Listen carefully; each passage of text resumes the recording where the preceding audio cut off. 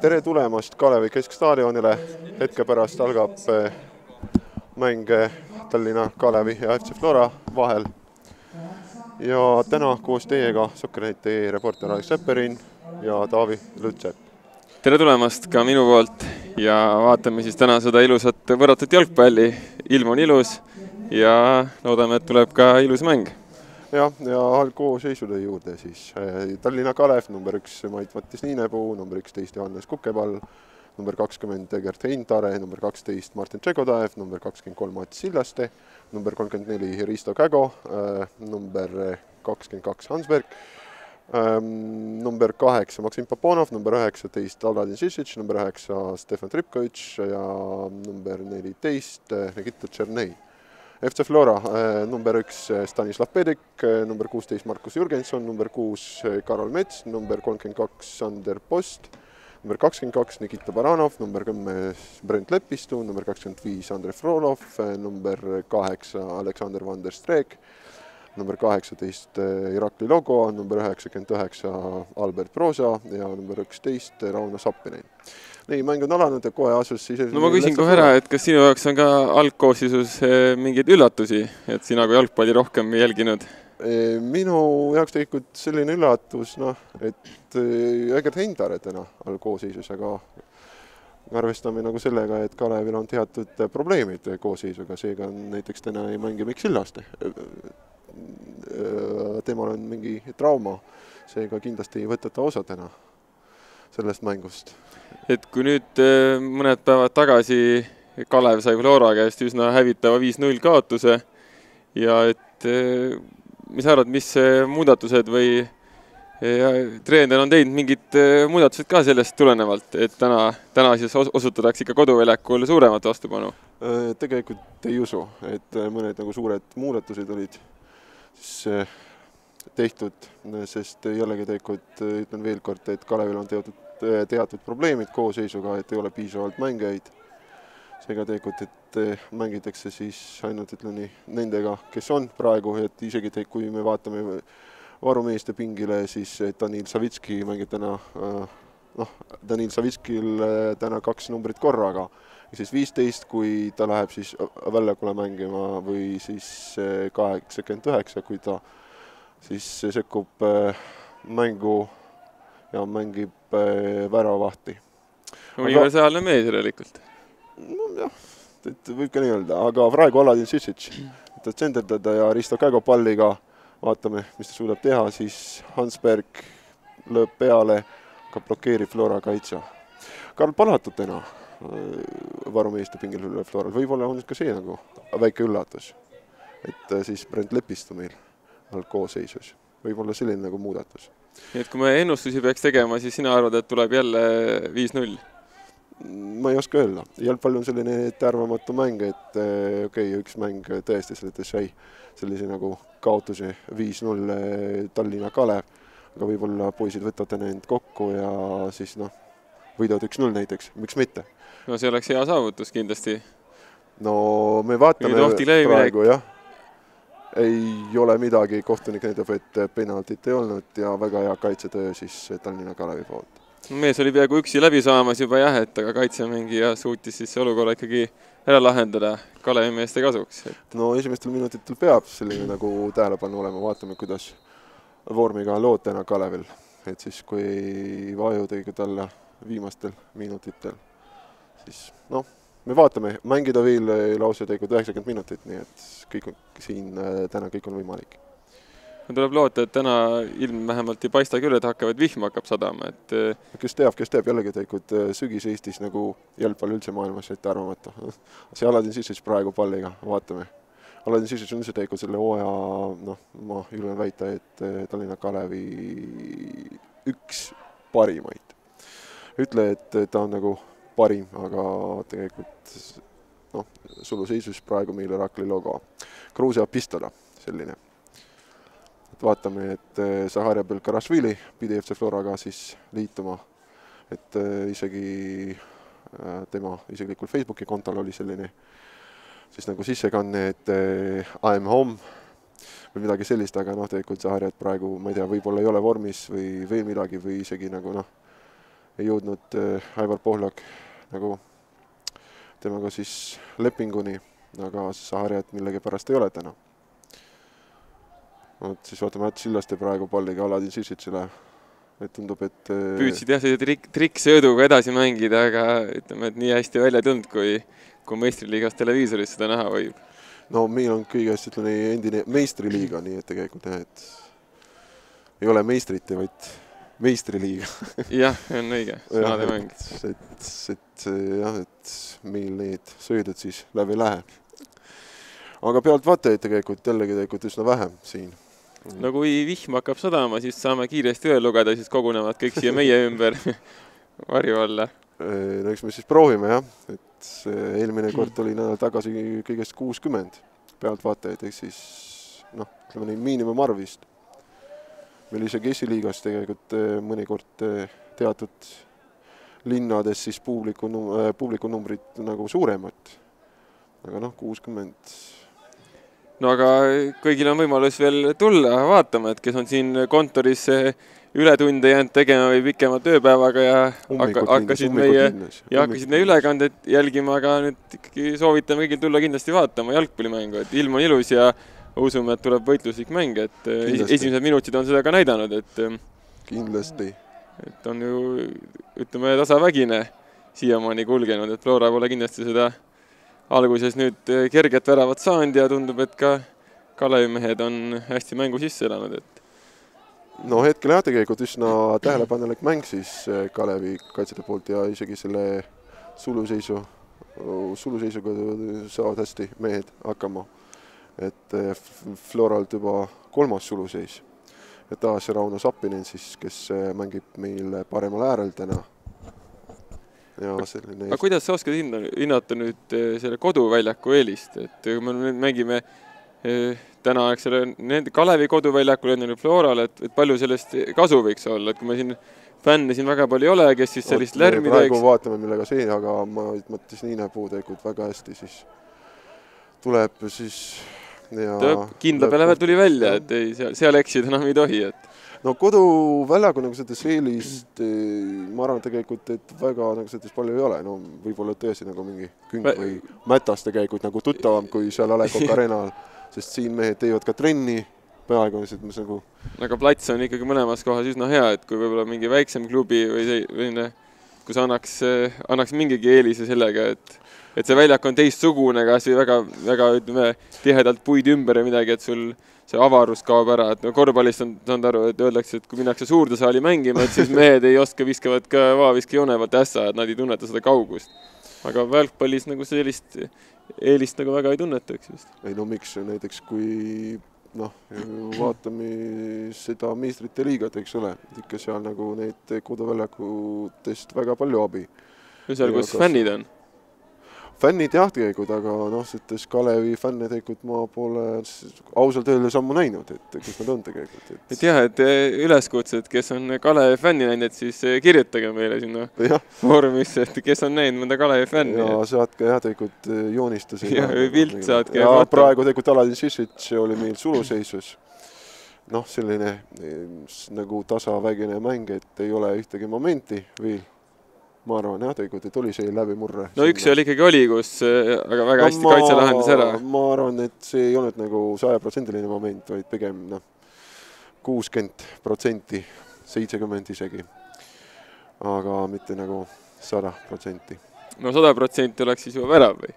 jah, jah, ikka, ikkagi... ikka, aga ikkagi nagu sajaprotsendilised võivad nagu või no see on ka vist sajaprotsendiline, kui tühjast väravast mees mööda lööb no, no oli kuskil olukord oli sada protsenti. Alžeeria liigas tegelikult, et mees jah, tegelikult oli no tegelikult, ma ei tea, võib-olla Hamleti isa vari nagu takistas mm. aga mees lõi tegelikult, ma ei tea, kolmel meetril siis nagu mööda, noh, et, et, et jah.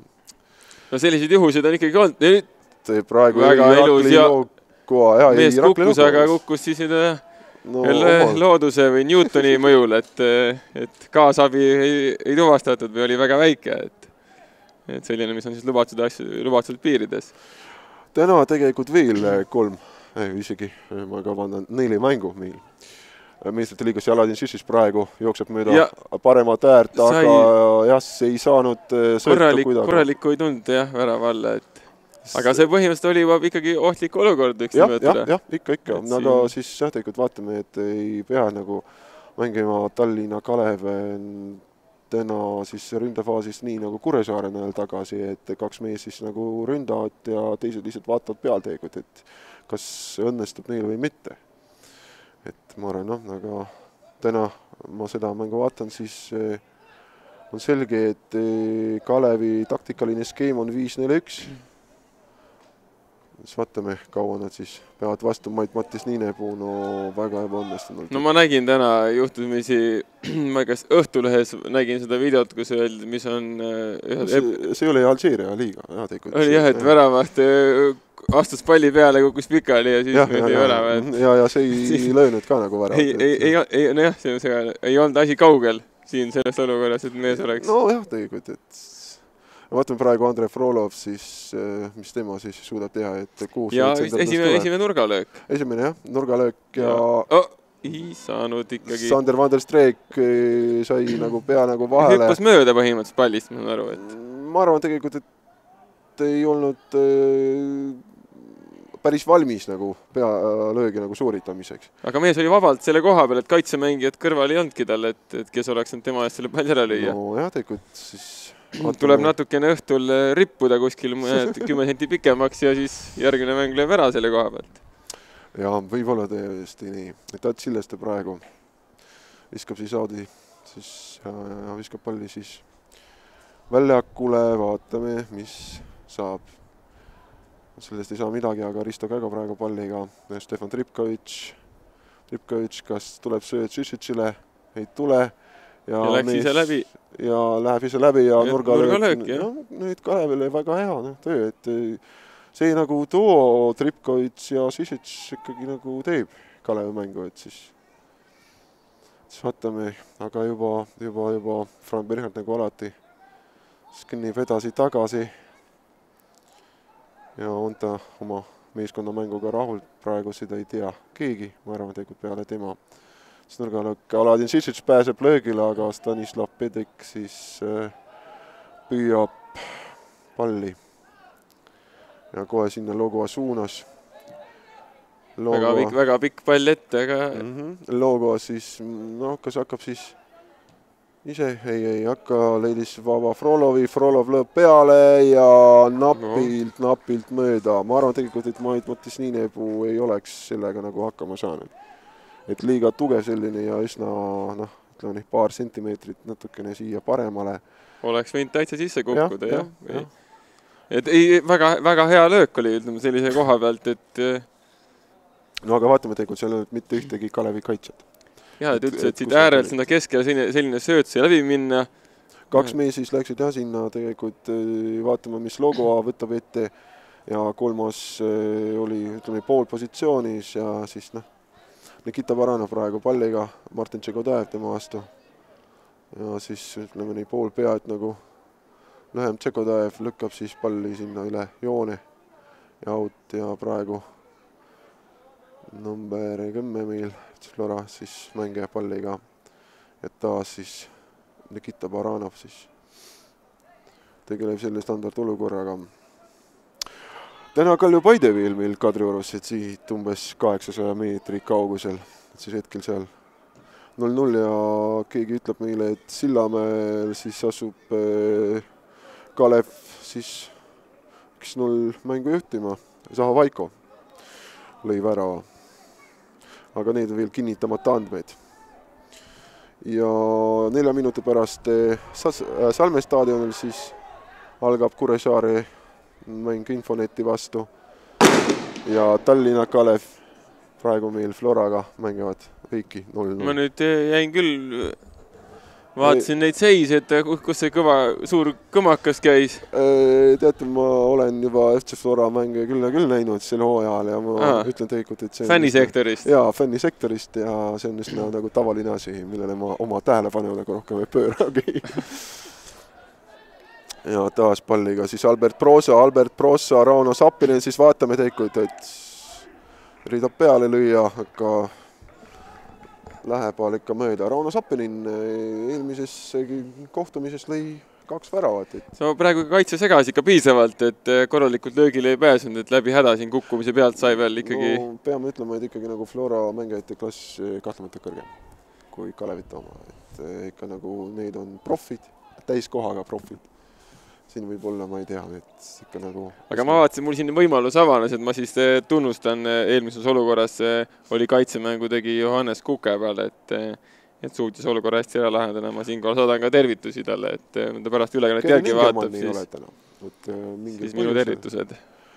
tegelikult Kevin Ingermanni täna ei mängi. et tema oli nagu see tsementeerija siis no mees pikali maas ja, ja tullakse ka, võetakse ka meedik juurde, et loodan, et midagi tõsist ei ole seal, saab ikka mees edasi mängida, et no loodame jah, et äh, midagi tõsist seal kindlasti ei olnud, aga võib-olla noh, ei teinud korralikult sende, vabandust, soojendust. ja, ja siis. aga vaatame jah, et praegu seal arstid platsil ja siis ma püüan ikka nagu selles vaadata, mis võiks olla Ingermanni puudumise põhjus, aga ei ole jah, tõeliselt eeldustes mängukeeldu tal ei ole. ja siis eh, miks teda ei ole, seda ma praegu ei oska öelda, aga kindlasti ma täpsustan üle. ainus asi on kindel teikud, et eh, Danil Vaskis, Vaskesevui ei mängi täna. see mees on mm, tõesti täna nagu liiga palju kaarte, siis, siis Markus Jürgenson oli et saab, saab ühe mängu puhata, liiga nagu no. mees saabus asja Aafrikast, et kus oli ta Ekvatoriaalguinea koondise juures. aga mäng äh, väljakule tegelikult mängus Sierra Leone vastu, siis ta ei pääsenud minu teada. aga no ikkagi need lennud ja muud asjad, et ikkagi nagu jah, et võtavad nagu oma siis.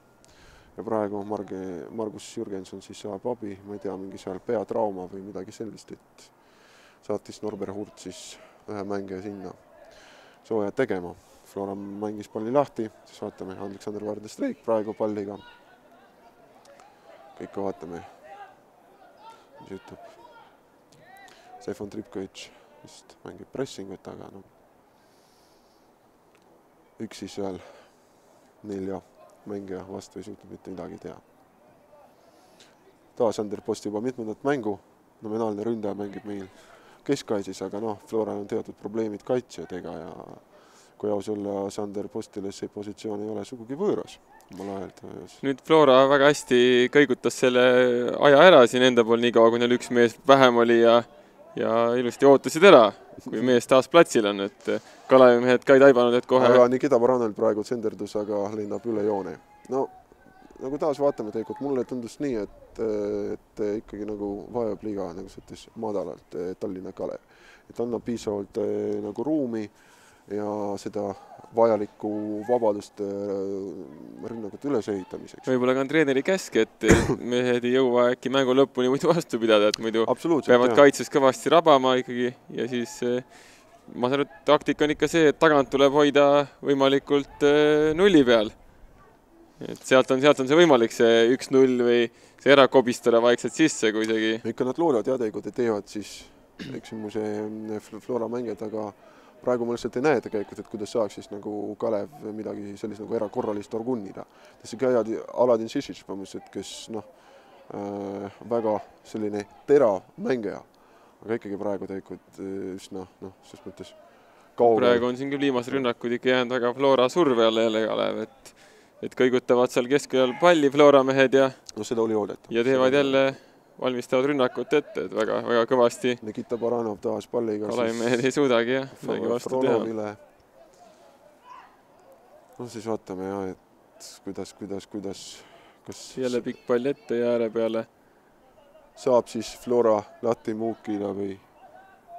jah, ei tea, et kas no teeb vea no, siis, jah, siis Hansbergile jah et äärekohtunik ikkagi või piirikohtunik märkas ära selle vea. Abikohtunik. abikohtunik et noh, ütleme, et kuidas õnnestub. ikka nagu taaskord ütlen, et ikkagi klassid natuke erinevad meeskondadel, et ja siin no kui Eesti mängib, Eesti koondis ka mängib paljude tugevamate, eeldatavalt tugevamate vastu väga häid mänge, siis jalgpallis on võrratu mäng jah, et on võimalik ka selline olukord, kus tõesti klassi no, võrra nõrgem meeskond võib kui ikkagi me, kui me oletame näiteks, et FC Flora on täna Hollandi koondis, siis ikkagi nagu Kalev no natuke ma ütleks, et mitte nagu Eesti, Eesti mm -hmm. oleks siin mingi Tammeka näiteks või Infonet. aga sa tahtsid öelda, et, et siis kohtunik aga, aitab või, või? ei, ei, ei, miks kohtunik aitab, kohtunik ei tohi aidata tegelikult, et siin inimesed peavad ise nagu kuidagi oma kohustustega nagu hakkama saada. kui, et kui Flora ikkagi eh, kaheksa, kaheksa viiendast minutiks ei juhi, et siis eh, ei, ei, ei, no ikkagi nagu sellist ei juhtu tegelikult, et meil on ikkagi nagu õiglane ja selline, see on nagu absoluutselt nagu sõltumatu kohtumõistmine, et eh, ma ei kahtle absoluutselt koht-, tänaste kohtunike kompetentsis ja pädevuses, et ikkagi nagu koolitatud mehed ja teavad ise hästi, teavad ise hästi, kuidas vilistada vot. samuti tegelikult eh, Kalevi see kaitseliin on täna väga eksperimentaalne. siis vaatame, keda ei ole, noh, ei mängi täna Mikk Sillaste, ei mängi täna Sean Wallen, ei mängi täna Daniel Vaskesevu ja mängi Kevin Ingermann, et eh, põhimõtteliselt tegelikult kõik need põhikaitsjad täna noh, mängust eemal. et Tats Sillaste meil täna äh, selline nagu parem kaitsja, praegu Aladin Sisic palliga, aga noh. ei suutnud ikka midagi sealt välja võluda, et mitu Flora meest oli ümber ja võtsid ära palli ikkagi. vaatame ikka Daniel Vaskise, kui tuli oma meeskonna mängu siis vaatama.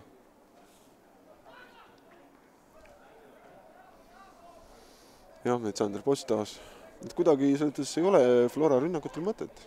ma arvan, tegelikult ikka nagu pikk pall ette ja siis vaatame, mida seal suudavad siis Brausa, Lokoa ja ma ütlen isegi nii tegelikult, et vaheldumisi siin äh, Baranov ja Sapinin äh, jooksevad äh, paremal äärel, et siis mida nemad siis suudavad siis välja mõelda. Ja praegu tegelikult tõesti selline nagu kõik mehed on ilusti, ütleme nii, kaetud, et selline nagu proovitakse jälle pika palli kätte, et ja aga ikkagi selles üks jah, tegelikult jääb ikkagi nagu mees vaba ja leiavad siis sellise nagu prao ja saadavad sinna jah, tegelikult oma pika palli FC Flora mängijad siia. ja on ohtlikult minemas. ei, Martin Tšegodev. kaitse võttis ikka ära ilusti. Martin Tšegodev ikka nagu mm, suurte kogemustega mängija, et ma arvan tegelikult, et et niisama Taladin Šišiš tuli siia keskele, aga libastus ja Nikita Baranov taas palliga. Andrei Frolov, kuhu nüüd, kas ette või, või hoopis veeritas palli siis Markus Jürgensonile. no siis Nikita Baranov saab taas palli, ikka otsivad, ikka otsivad neid rajakesi. ikka ütleme, et püüavad, hoiavad palli ja vaatavad, kust võimalus avaneb, et see. no palli hoidmine ei tähenda, et. et sa jah, väravad lööksid, aga. oota, väga... praegu vaatame jah tegelikult, et ja, ja ainult Johannes Kukepalli siis eh, jalg siis jälle tuleb, tuleb kiita head kaitsetööd Johannes Kukepallil ja. Johannes Kukepall jah, tegelikult väga hea mängija ja see, nii et ta taas liitus Kaleviga, noh küll ta viibib siin äh, laenul. jah. aga, aga jah, selles mõttes üks põhikaitsjaid hetkel Kalevis. no noor mees, et äh, tahab loota, et sealt äh, võib veel väikse treeninguga. opa, opa ja, ja, ja kaitse oli. ja vabandust, see Mait Mattis Niinepuu ikka jah, viimasel hetkel kuidagi sai siis palli värava joonelt siis nagu pühkida. põhimõtteliselt jah, et no ma mõtlesin, kas ta pühib selle juba küljevõrku sissepoole, aga ja, ikka sai väljapoole posti, et. aga jah, tegelikult selline moment tekkis ja pean ütlema, see kõige ohtlikum moment. jah, kui nüüd lugeda kokku neid, siis. logo, logo siis tsenderab ja natuke jälle, jälle hüppas, ei küündinud pallini. et, et kas võib-olla, võib-olla oligi nagu ette nähtud nagu võrkpallis, et tehakse see pette, noh, pettelöök selles mõttes, et kaitse ja, läheb esimene peale ära ja siis tagumine mees tuleb, et. ja, ja siis tuleb juba selline nagu teine laine. jah, teine laine, et jah et siis võetakse kuue pealt, see võrkpallis tagaliinist tuli mees ja lõi ära, et aga siin jah no,, võib-olla, et uued kombinatsioonid võiks ka ju ütleme. Rauno Sappinen praegu jälle sai jalaga vahele, aga, aga ebatäpne, nüüd on tõesti ikka surve väga Kalevi väravale koondunud. aga see jalgpallis ka selline reegel, et eh, kui sina ei löö, siis, siis sulle ei lüüakse. no loodame, et siis peab paika, et Kalevi poolt vaadates, et pole siin Flora löönud ja loodame, et siis Kalevi mehed ikkagi võtavad veel kakskümmend minutit on mängida seda esimest poolaega, nomaalaega. Täpselt nii ongi jah, tegelikult vaatame siis, et eh, mis meil toimub näiteks Kadriorus ja teistes Eestimaa, Eestimaa paikades, aga ikkagi tundub, et eh, peale Sillamäe tegelikult teistes kohtades ikkagi nagu null-null, jah.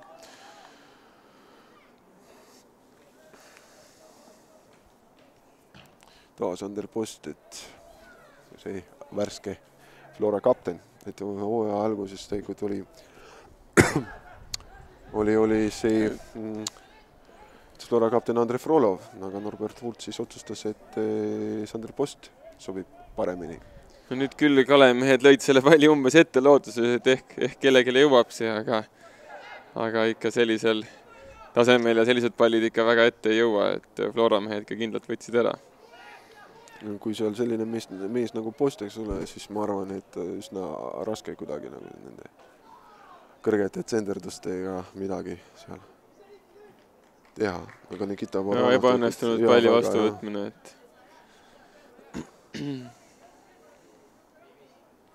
me taas tegelikult vaatame, kui äh, hooajatabelit siis, kui Kalev täna võidab näiteks. Ja... juhtub selline olukord jah, tuleb loota, et juhtub, et no meile, meil, meil hetkel praegu seis on null-null ja nagu palju nõmmargune ja mängida veel seitsekümmend minutit, et äh, võib juhtuda üldse nagu kõike, et aga kui Kalev võidab, siis võib tõsta lausa nagu seitsmendale positsioonile. Tegelikult ikkagi iga minut, mis siis Flora väravat ei löö, ma arvan, see on vesi ikkagi Kalevi veskile, et, Flora tekib see väike kohustus juba, et et mis värk see on, et alles nüpeldasime ja nüüd ei saa tühtegi väravat, et hakkab selline väike jalg värisema ja, ja Kalevi poisid kasutavad ära võimaluse, et ja samas täna Tammeka ja Levadia kell pool kaheksa õhtul siis võtavad mõõtu siis Tartu linnas. Et see mäng siis jah, tegelikult, et kui Levadia siis võidab ja Kalle ja mm, ta näiteks võidab ka Sillamäe, Sillamäe tuletan meelde tegelikult, et juba Zahovaiko väravas kuuendal minutil juhib mängu üks-null Sillamäel, siis äh, Transis langeb üheksandale positsioonile, jah hmm üldse tegelikult, kui keegi mulle oleks hooaja siis enne hooaja alguses öelnud tegelikult, et Transis võib eh, langeda siis ülemineku, äh, minekumängude tsooni, siis ma arvan. seda ei oleks pakkunud? jaa, absoluutselt, absoluutselt, et ei oleks jah, tegelikult pakkunud, aga noh, meestel nagu teatud probleemid nii koosseisuga, et täna vaatame taas, et Šesterkov jäi riie seal äh, mängukeelu all ja taas peab äh, Narva Transi laudse Valeri Pantarenko Äh, koosseisuga siis proovis jälle kõrge palli ette mängida, saigi palli ise uuesti kätte, et tegi sellise huvitava söödu ja mängivad seal karistusala sohtlikult. Aladin Šišis, kas tuleb senderdus, no tuleb, aga madalaks jäi selgelt. teine pauk käis. jälle püüti, püüti ehmatada, siis ma saan aru, et kui, et kui mees lööma hakkab, et siis ehmatab jala paigast ära. no ma arvan, et mängijad üldse tegelikult ei pööra oma tähelepanu sellele tegelikult, mis tribüünidel nagu, et fännid teevad pigem nagu see iseenda no, nagu lõbu. teagi, et selles mõttes, et siin on ikkagi publikut nii vähe, et siin no ütleme, tähelepanu võib püüda küll, et kui kümnepealine selline ja tuli Sanders ette, aga väravast no, kindlasti võttis ära. meil hetkel kuus inimest. sa loed siis nagu vastastribüüne? ja, ja, ja. ja, ja siinpool tribüünil jah, et tegelikult ma ütleks, et rohkem kui eelmine kord. arvad? no ma olen nädal aega oh. tagasi oli, oli minu arust minu lugemise järgi oli küll siin mänguinspektor loeb kokku ja siis ah. teisel poolel siis saame teada. sama jah, ega numbrid ei valeta, aga ütleme, Elma muljel on praegu jäänud, et siin. no võib-olla tõesti tegelikult. no ilm on ilusam. ilm on ilusam, aga pisut jahedam ikka. no sügis tuleb no kuhu ta jääb, jah yeah.. kuigi ma ei pannud tähele täna, et kas seal seda Felixi, Felixi seda putkat on, oli. on, on olemas ja, ja olemas. Ah, ma tulin liiga vara siia, et ma ei jõudnudki sealt, et. Äh, mina peaaegu, et äh, jäin hiljaks, aga noh, siis vaatame jah. praegu meil on natuke teise teema, sest äh, väljakul ei toimu absoluutselt mitte midagi huvitavat no üks sihuke, ütleme, proov-, prooviti väravahi valmisolekut, et lükati pall sinna ette, aga aga sellist, et väravat Maksim ikkagi Poponov taas Sisitšis suunas ei Nojah. midagi, midagi, Markus Jürgenson ikkagi nagu saab vastasest ütleme jagu, et Sisitš täna, ma ei tea, peaks vist ta nagu parema äh,, vabandust, vasakule äärele siis nagu tulema. nüüd püütakse jälle siin väravahte, et no väravad ka soojas ikka oleks, et muidu hakkab külm neil, et et siin jagatakse ühtlaselt palli kõigile. ja nüüd püüavad sealt paremalt äärelt minna. et vaatame, mida ja siis Ja ei, ei ole suluseisus. ei ole suluseisus, väga heas positsioonis no,, tuleb senderdus ja ja tuleb ja ei mitte midagi. ei saanud välja pigistada Stefan Tripkovitš ja Tšernei eh, sellest olukorrast, vaatame, millega vastab Flora, aga Kukepall siis, Kukepall on olu- Kalju kindel, kus seal oli suluseis. no vist ikka mingi oli, kui kohtunik näitab, siis küllap oli, ma jäin ka imetlema seda jälle kindlat kaitsetööd, aga aga kohtunik on äh, selle jaoks ta seal ongi, et seda öelda, et kas oli või mitte, et no kohtunikul alati õigus, ütleme nii. tema näeb ikka nagu ütleme, ma olen siin jalgpallifoorumis lugenud äh, palju seikasid, kus kohtunikul vist ei ole üldse õigus.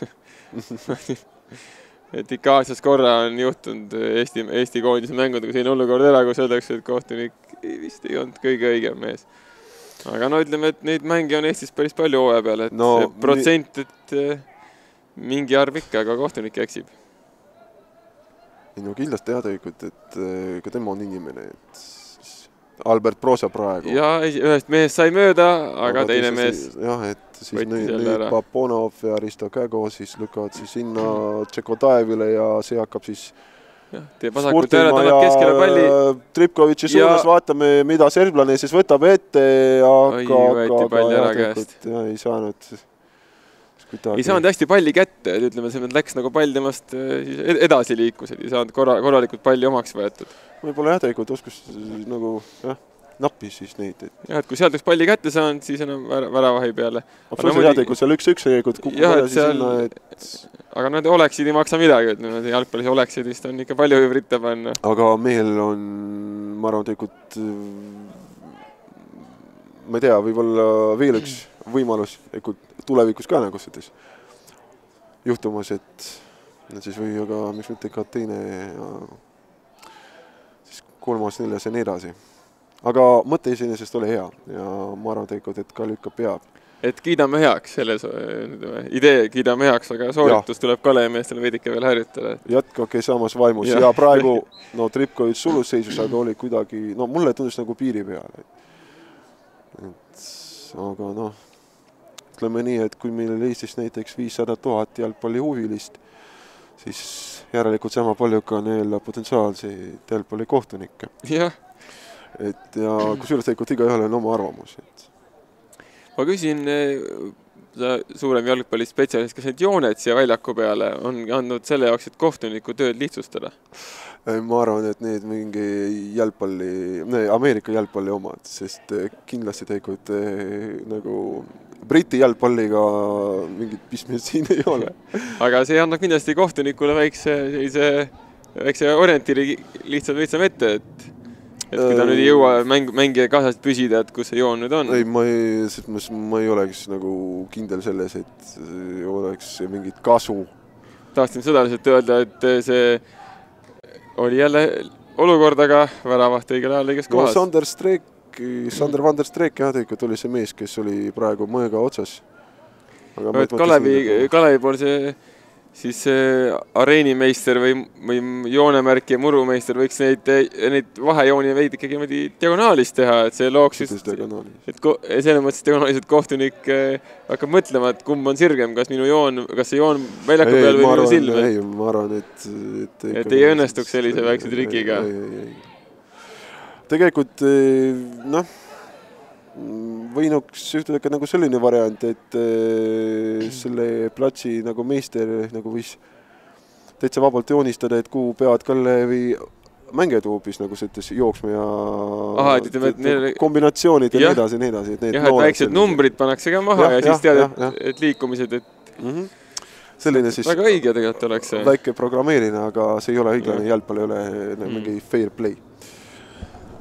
ma vahepeal olen mõelnud, et kui tänapäeval tehnika on arenenud, miks siis treenerid eh, võiksid saada infot anda mängijatele, noh, läbi kas väikeste raadiosaatide või elemendid, et neil on no ma ütlen isegi nii. et kui, kui ikkagi suur väljak kõik rõkkab, siis see mängija seal ei kuule mitte midagi, kui treener tahab öelda, et ei no jällegi tegelikult, et eh, seal peab olema üks ja sama raadiosagedus, ega ta ei hakka tegelikult iga kord noh, näiteks kui Nikita Barana mängib number noh, kui ta on ei, kõigil on ikka sama et ja, aga ühe, siis, siis ühe..., aga siis ei saa aru tegelikult, et eh, kelle poole see, ta, ta lihtsalt nagu pöördub, et et lihtsalt ta ütleb, noh, tegelikult nüüd nagu parem, aga vaatame praegu nüüd ei õnnestunud väga hästi Van der Streekilsi pealelöögi katse, et endiselt null-null, noh, ütlen nii, teema lõpetuseks ütlen nii, et jällegi, kui see raadiosagedus üks ja sama, et ta ütleb näiteks Frank Bernhardsi, siis come on, come on, siis no sa ei tea täpselt. kellele see läks? absoluutselt, kellele see läks ja, ja. no ütleb ikka nime ette ja saab selline no jälle... annab väikse info, et ei, kuule mees, vaata, et vasakule-paremale, et selline uh,. ma ise mängisin nagu jalgpalli ja ma ütlesin aus- ja ma ütlen ausalt tegelikult, et eh, iga sõna, iga treeneri sõna tegelikult on hästi kuulda seal platsil.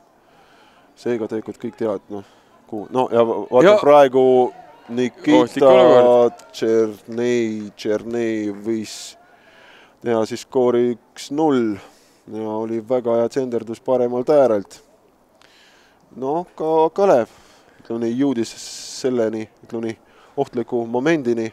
jah, et siin alla kümne minuti on eh, siis poolajani. et see oleks väga õige moment olnud Kalevi meeste poolt see.... Narvas üks-üks, teatab Sokkerneti no.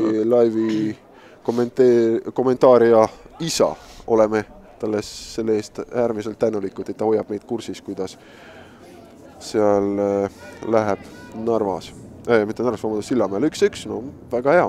Sillamäel kusjuures tegelikult selline äh, lugu äh, sel aastal, et meeskond ei ole kordagi kaotanud oma. praegu oli küll huvitav olukord, et äh, minu silmad näitasid küll midagi muud, kui kohtunik siin ütles, et ja ega ja mängija ise ka lasi selle palli välja ära ja võttis kinni, et noh, ta hakkab ise mängima. aga siis kohtuniku arvates ta liiga vara selle palli peatas. no ta näitas ka teist suunda meile ja ta näitas selles mõttes, et tema puutus mm. palli viimasena, kuigi kohtunik jälle tegelikult näeb nagu paremini kui meie siin tribüünil.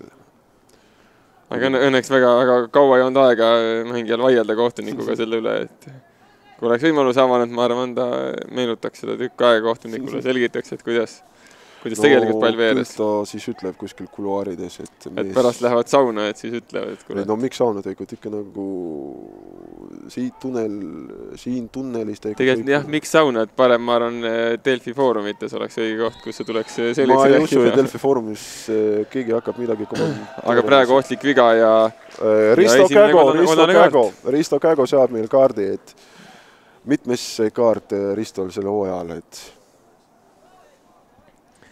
jah, taas selline olukord, põhimõtteliselt ma ei tea, kas oli see nagu põhjustatud viga või mitte, aga noh, kohtunik näitab Ristole kollase ja, ja siis, siis vaatame, kes, ma arvan, et tuleb jälle mingi üsna nagu kiireline kombinatsioon seal palli juures, kes meil Post, Frolov, Frolov ja kes seal kolmas on ma arvasin, et logo, aga see mees praegu liigub üsna sinna. sarnase koha pealt Infoneti vastu õnnestus siis Kalevil Sander Post, vaatame praegu, virutab natuke läks üle, üle.. et Infoneti vastu umbes sarnase koha pealt, kui Kalev hoidis initsiatiivi ja oli põhimõtteliselt mängu võitmas, aga siis Infonetil mehed lahendasid ära sealt sarnase koha pealt karistlöögi ja ja siis veel. aga Konstantin Nahk lõi tegelikult sama koha pealt, siis Kalevile värava.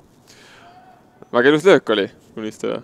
too oli ka väga täpne. no Nahk on tuntud, äh, tuntud äh, karistuslöökide spetsialist, nii et nüüd pikalt purjetab läbi väljaku ja kukub siluli maha, aga no viga talle tehtud ja siis aga ka Flora mängija siis saab ka nagu, ega siis see Rauno Sappinen, see mees, kes praegu pikali maas. aga kolm meest korraga kukkusid ja ja ikka sai. no keegi ikka... siis, siis pidi trauma siis saama. siis vaatame, Maksim Poponov, vot Kalevil on selline mees, kes eh, tuleb, lööb ja otsustab, on see Maksim Poponov.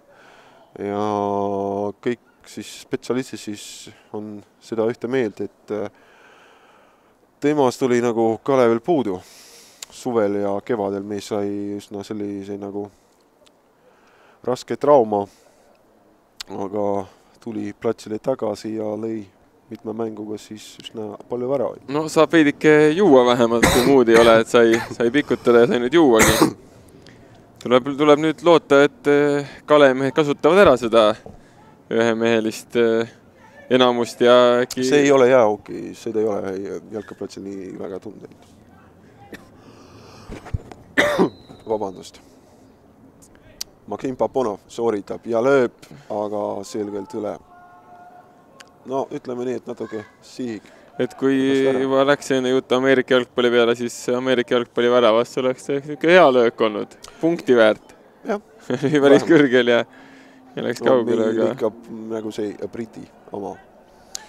Nonii, meil on eh, Ameerika inglise keeles siis soccer, mitte football. Jah, siin me si,, siin selle eest eh, punkte ei anta, kui sa mm -hmm. suudad nii kõrgele ja kaugele selle palli lüüa. Anders Streek. ja sinna siis lendab pikk pall proosa suunas, aga Chetney siis ja sööt ei kuhugi. taas jah. no ei olnud seal Šešitšit, ei olnud Ripkovitšit mm,.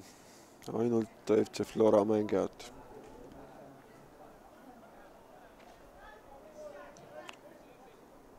et püüavad siin paremalt äärelt siis üles ehitada Flora mängijad oma rünnakut, aga kaotavad ära. taas Kalevi mehed ikka on võtnud palli omaks ja abikohtunik näitamas praegu mitu üleminutit siis meil on. ma arvan, et üks noh, kaks üleminutit maksimum. Van der Streek sinna vasakule Jürgensonile. Frolov palliga. post taas. Baranov. taas post ja pikk sööt ette. no proosa suunas tegelikult vaatame tegelikult, et kuidas Albertil siis õnnestub. sai palli omaks ja löögile ja, õnnestus ja nurgalöök. nurgalöök jah mm,, väga hea. Praegu tegelikult küll nagu näitab eh, Frank Berhat, et oma rahulole, rahulolematust, et äh, ei saa aru tegelikult, et kuidas sai siis proosa nii vabalt siis peale lüüa no sai palli maha võtta ja seal veidi kobistada ja sai veel löögile ka ja said nurgalöögi no, välja kus oli ka teine kaitse, kes pidi appi Jah. tulema. aga vaatame no, siis see ja väga Lätt, Lätt, Lätt, Lätt, kes see oli, Sander van der Streek, nagu ma näen. Ja vot Ja väga ilusti sai seekord löögile. soovitasid talle natuke pikemaks pikemaks kasvada ja siis mees tegi ära selle mõne Jah. ajaga. et eh, neil läks, no see oli, värav ei olnud üldse kaugel, ütleme, et see ülemine Lätt oli. sentimeetri kaugusel jah siis, ühe kliki kaugusel. jah, et siin on kaks minutit veel normaalaja lõpuni ja, ja jälle vasakult äärelt ohtlikult Irakli logo jah. ja läheb pikale. no pikale, aga Sander Streek siis aga saab jah, ikka oma mehed, eks see Flora mehed ongi mm. -hmm. Siis vaatame et no siin on kindlasti tegelikult, eh, ma arvan, et kohtunik eksinud, et eh, viimasena puudutas palli keegi muu kui Martin Tšekodaja. aga olgu, nüüd on ikka kohtunikud ei eksi, nagu ma sain, sain enne. no sinult, ei, ei, äh, mina ütlesin, et, et ka kohtunik inimesed, kohtunikud on inimesed, seega tegelikult et ei ole. ja nüüd püüavad. No, no, väga ebatäpne jälle ei kuhugi põhimõtteliselt, et ei kuhugi jah.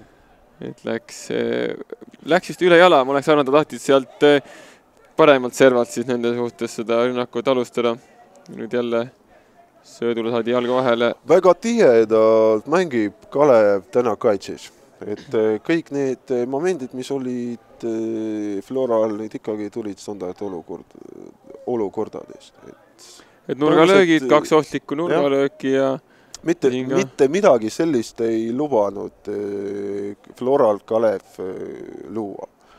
ja ma ütlen tegelikult nii, et see on kindel pluss. ja nüüd veel püüavad siin keskelt läbi minna ja, ja saab löögile. no Õnneks üle jala. no ütleme nii tegelikult, et eh, vaata, nad küll pääsevad löögile, aga need ei ole löögid. no väravaraamide vahele ikkagi ei läinud, et, et suhteliselt ei no asi, asi tegelikult ei ole selles jah, tegelikult me vaatame, et äh, kust koha pealt need ikkagi said sooritatud. ikkagi trahvikasti piiri tagant.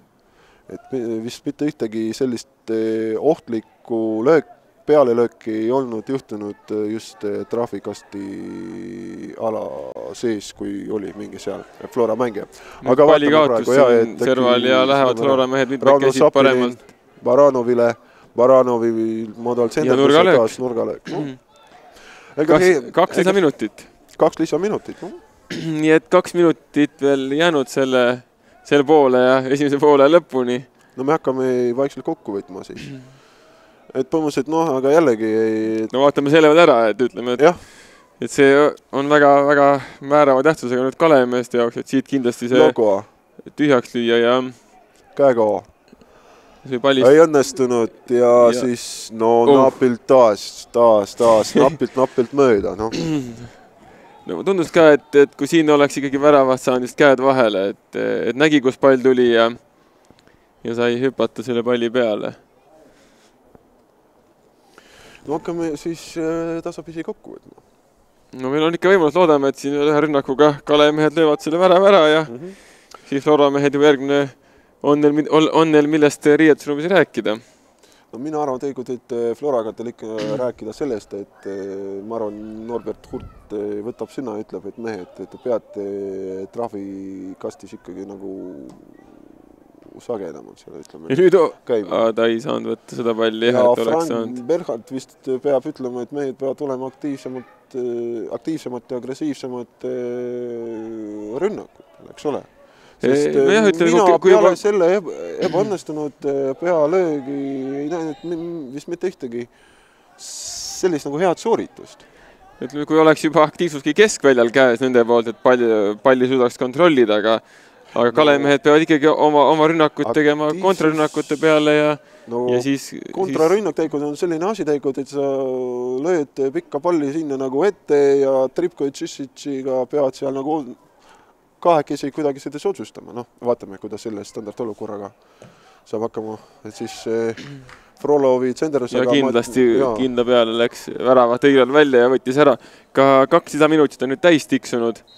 ja andiski selle peale kohe kohtunik näitab, et meeskonnad peavad siis pausi tegema. meie teeme ka siis väikese pausi. teeme väikse pausi ja veerand tunni pärast kui, kui sa juhuslikult ei leia kedagi siia, kellega intervjuud teha? ma arvan, et täna ei leia, et mm. ikka nagu selle suhtes, et ei ole täna selliseid mehi, kellega ja. saaks midagi. no aga siis eh, laseme natuke teile Kalevi toetajate lugusid ja mm, -hmm. ja kohtume teie kõigiga teisel poolajal mm, -hmm. kus loodame, et mäng läheb sama põnevalt edasi. täpselt nii ongi, aitäh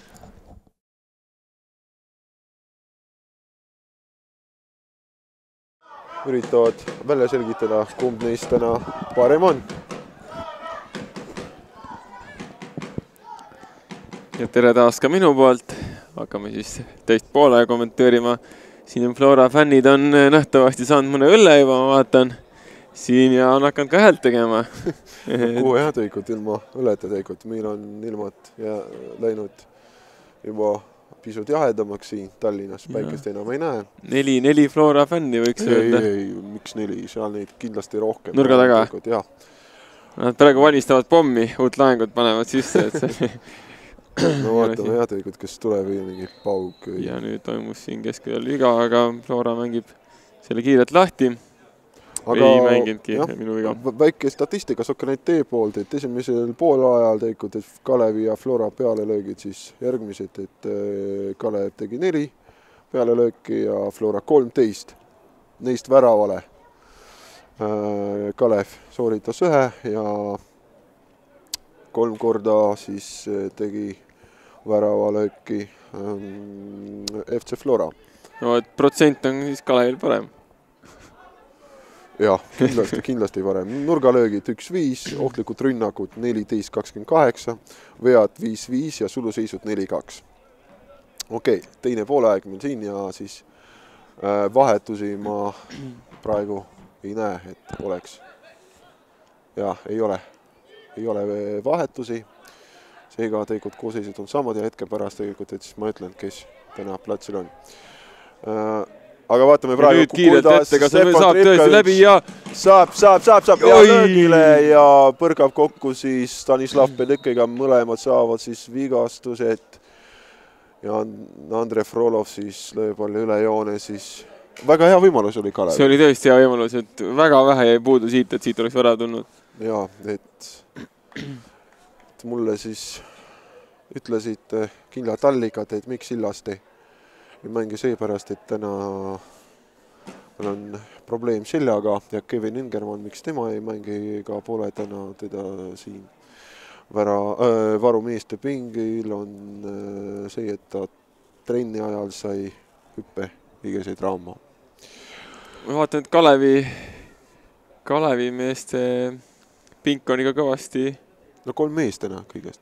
jah, et kõvasti üle, ma tahtsingi öelda, et siin polegi nagu mehi jäänud pingi peale. nii, aga nüüd eh, koosseisud, eks ole, et Tallinna Kalev number üks Mait-Mattis Niinepuu, number üksteist eh, Johannes Kukepaal, number kakskümmend Rein Tare, number kaksteist Martin Tšekodaev, number kakskümmend kolm Mats Sillaste, number kolmkümmend neli Risto Kägo, kes sai esimesel poolajal ka kollase kaardi, kaardi ja number kakskümmend kaks Hans Hansberg ja number kaheksa Maksim Paponov, number üheksateist Aladin Sissitš, number üheksa Stefan Tripkovitš ja number neliteist Nikit Tšernei. kollane kaart lehvis kollane kaart, kellele huvitav, kas Tripkovitšile, et sõitis nii sisse? Kalevi, Kalevi mängija sai jah Äh, Stefan Tripkovitš ju siis sai selle kollase ja viskas siis sama värvi markeri sinna meie suuna siis Frank Berhard, kes näitas, et ei ole väga rahul selle otsusega. no see otsus tõesti on selline kaheldav. ei no miks tegelikult, kui näiteks nägi Tripkovitš, et äh, selline olukord, et ta pallini enam ei jõua ja võis kohtunik tõepoolest nagu arvata, et tegemist on eh, tahtliku veaga. me saame pool. seda nüüd pärast minna koju ja vaadata järgi ilusti ülekanne järele vaadata ja saame aga just... kus eh, kohas me siis vaatame? Kalevi kodulehelt me saame seda ülekannet järgi vaadata. kerime selle koha välja ja vaatame, et mis super ja Flora koosseis on järgmine, et Stanislav Pilik number üks, eh, number kuusteist Markus Jürgenson, number kuus eh, Karol Mets, number kolmkümmend üks Sander Post, kakskümmend kaks Nikita Baranov, number kümme Brent Lepistu, kakskümmend viis Andrei Frolov, number kaheksa Sander Van der Streek, number kaheksateist Irakli Logo, number üheksateist Albert Pross, number üksteist nüüd võeti pall ära Flora mängijatelt. Rauno Sapp. aga said kiirelt tagasi ja lähevad sulus eh,, mitte suluseis, viga, viga, viga, jah, viga, seekord viga. et kui enne vaatasin, et eh, muidu on, ma saan aru, et reegel, et kui kutsutakse juba meedik platsile, siis mm -hmm. mängija peab ka minema väljaku äärde. Jah, täpselt nii ongi. aga kas väravavahtidega on siis erand? erand need, no kuidas sa saad ilma ei no oleks nagu raske oleks neid hoida seal kolm minutit ääres, jah? ei no järelikult järelikult, et väravat meil on üks ja ainus. nii et siis vaatame, millega see. nüüd pidasid plaani, sa pidasid sõjaplaani. Irakli Logo ja... oma vasaku jalaga siis sooritab tsenderduse või otse, otse... peale ja napilt-napilt mööda Tund-, tundus, et, tundus, et jah, et viskas siis palju üle lati Mait-Mati Seinepuu. jah, mulle, mulle jäi ka selline mulje, et väike, väike küsitav seal oli, aga, aga kohtunikud märkisid nurgalöögi peale ja sealt see nurgalöök ka kiirelt tuleb.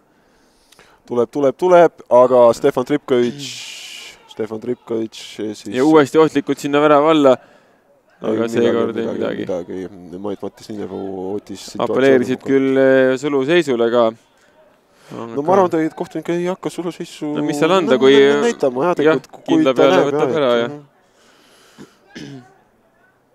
ja uuesti sai palli väga ohtlikult siin keskel. ja Sisicile siis, siis no natukene selles mõttes ei olnud valmis Aladin äh, peale löögi sooritamiseks. no löök läks jah, üsna nii-öelda üle jala jällegi, vihma järgi ja kerge pallikaotus aga, aga mees pikali ja pall Flora käes. Rauno, Rauno Sapinen praegu ja Ats Sillaste. saab kohe üks-ühele väravaiga ja, ja. värav, värav, lööb värava Rauno Sapinen. Ats Sillaste ei suutnud takistada ja saadab palli võrku siis number üksteist FC Flora ründaja Rauno Sapinen. noh, jah. väga kergelt. üsna kergelt jah, et Äh, jättis siis Jats Sillaste oma selja taha. alles oli siin ohtlik olukord, ohtlik olukord teise väraval ja, ja nagu targalt ütlesid, kui see ära ei löö, lüüakse sulle, et oli kaks võimalust seal väravale ohtlikuks saada, aga ei kasutatud ära ja kiirelt Flora tegi, Flora tegi üks-null ära noh, põhimõtteliselt kui nii võtta, siis ei jää muud üle, kui ründama siis asuda Kalevel?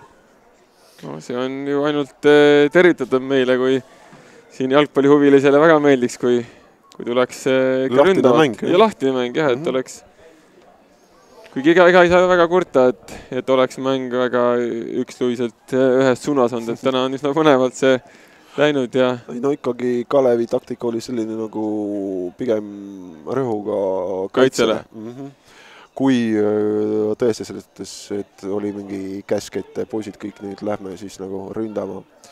aga nüüd tegelikult muud ei ole. tuleb rünnata?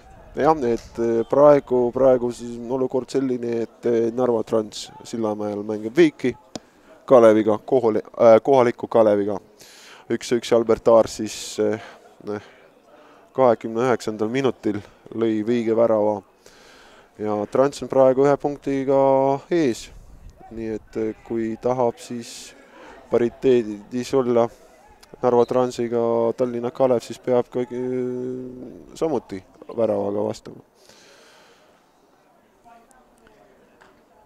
no aga siis vaatame jah, et kindlasti äh, kindlasti praegu, kindlasti praegu tuleb eh, Kalevil ennast, ütleme nii, avada ja tekivad need vabad tsoonid nende kaitseliinis ja ma arvan tegelikult, et ega ei jäta Flora mängijat kasutamata. ja nüüd ohtlikult siin proovis seda palli edasi sööta, polnud nagu kellelegi anda ja lükkas palli out'i, aga, aga siis Kalevi õnneks tehti viga. et ikkagi ainult, ainult veaga suutis selle palli kätte saada, aga see selline triblamine seal oma viimase mehena ei ole ka kõige no, targem no, mõte. no, no Stefan Võiks... Tripkovitš absoluutselt tegelikult oli vale otsus, et pane pall ütleme maha ja hakka siis nagu sellega siis jooksma. Muidu, muidu noh, aga mees tahtis siis kuidagi sinna nagu ettepoole lükata, aga noh, praegu vaatame Aladin Sišic ja läks sinna keskele, otsib ja, ja, saabki, saigi palli kätte. ja ei saa keda, keegi teda peatada ja, ja nüüd on ei olnud viga kohtuniku arvates. Frank Berhard näitab eh, neljandale kohtunikule, et noh, ma võiksin isegi öelda, et ta ütleb praegu väga, väga aktiivselt siin seletab. Mulle tundus tegelikult, et oli seal natuke penalti. no minule ka tundus, et see, et ta kuidagi ootamatult jäi kinni nagu, et ta. Sander Post tegi Tripkovitšile vea võib-olla ka osav näitleja töö, et ma ei oska seda ka nüüd öelda, võib-olla ta... nagu iga jugoslaavlane jah, tegelikult, et ja. seal ikkagi seda kooli jah, et olemas. ta oskab jätta niisuguse mulje, et nagu keegi oleks jala taha pannud ja kukkus täpselt põhimõtteliselt jah, et mina oskan seda öelda, et kui nii väga, ütleme nii, dramaatiliselt mees poleks nagu maha kukkunud, siis ma arvan, et no aga praegu meil siin kollane kaart ja kes saab selle, noh, saab selle, ega see värava autor ei ole, see Rauno Sappinen, et ta siin, jaa, vist Rauno Sappinen saab. see oli ka võib-olla õige otsus kohtuniku poolt, et mängu natuke rahustada, tundus ka, et Flora mängijad hakkasid, no läks väga jõuliseks juba selle peale, et et see on võib-olla nagu taktikaline käik natukene kohtuniku poolt, et no aga vaatame tegelikult, ka Flora tegelikult laseb rünnata siis Kalevil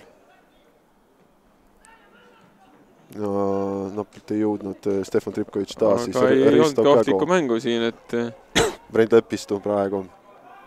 võtame, lükkab ja, siis sinna logo suunas, aga, aga Ats Sillaste ja Ats Sillaste hästi, hästi siis sai nagu tõukas hakkama. ära mehe lihtsalt kehaga. no see oli selline nagu mäng, et aga Andre Frollo, vaatame praegu. ja sai löögile ja lendab selgelt mööda. ja aga taas ka... vaatame ja kes saab siis kullase kaardi, siis Maksim Paponov ja ütleme nii, põhjuseks on see leppimatus kohtuniku otsusega. ehk siis ta ütles kohtunikule, et Frolov tegi talle vea.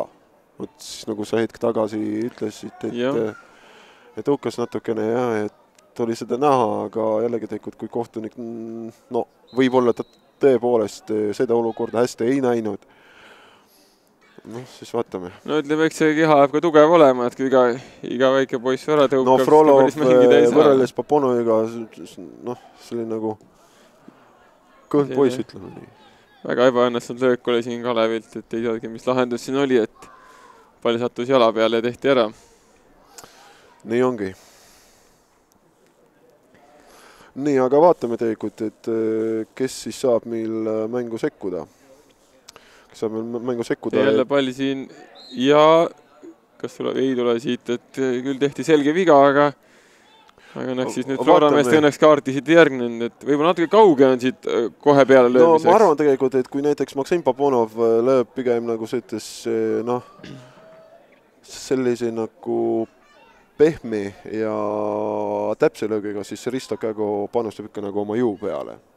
Et siis, eh, siis ma oskan jah, tegelikult öelda, et Risto Kägo jääb siis eh, palli juurde ja üritab siis peale lüüa, et Pedexis ehitab müüri, müüris praegu meil eh, kolm inimest Risto Kägo sooritab ja lööb peale ja, ja väga ohtlik ja väga hea, väga hea, noh, natuke jah, selles mõttes, et kui oleks pall nagu lennanud paar meetrit, ütleme nii, Pedekist, ütleme paremale või vasakule, siis kindel värav, aga praegu kõigest nagu nurgalöök, aga noh.